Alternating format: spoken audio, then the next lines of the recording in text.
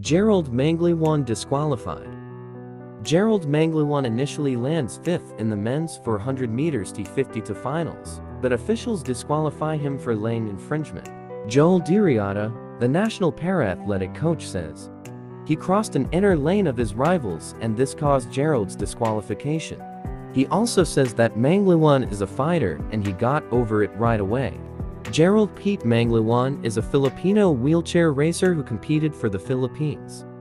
He is paraplegia as the result of the effects of polio, which he was diagnosed with at age 2.